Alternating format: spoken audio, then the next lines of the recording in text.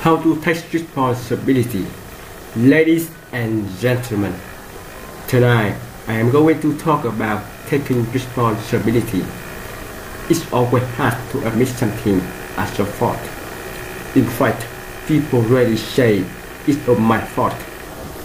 People always make excuses or say it is somebody else's fault. Thank you for watching TV.